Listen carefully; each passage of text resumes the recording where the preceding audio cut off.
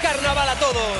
Con todos ustedes, desde la tril azul, directamente del bosque, bajo una preciosa capa roja, nuestra caperucita favorita, Gorka.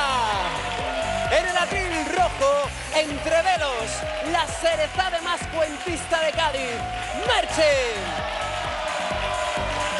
Y en el atril amarillo, con la espada dispuesta a dar la última estocada, la mosquetera Noelia. Y ahora, los jefes del poblado vikingo, Laura Moure y Jorge.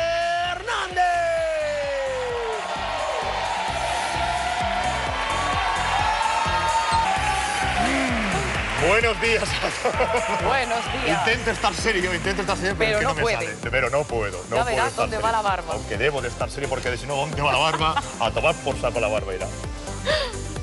Va a tomar... Bueno, da igual.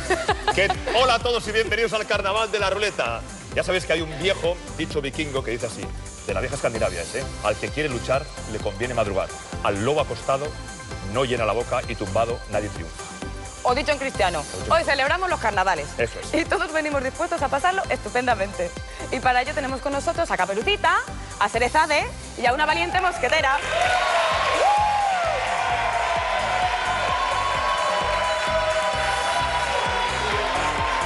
Laura y yo somos los jefes de, esta sin- de este singular poblado. Ella es la Gerza, esposa de Ragnar Lodbrok, hijo de Odín. Encantada. Y yo soy su hermano Rolo, hermano de Ragnar. Y ahí están nuestros más valientes guerreros. Y para demostrar que somos verdaderos vikingos, la Gerza va a recitar el lema vikingo más famoso de todos los tiempos. ¿Qué os vale?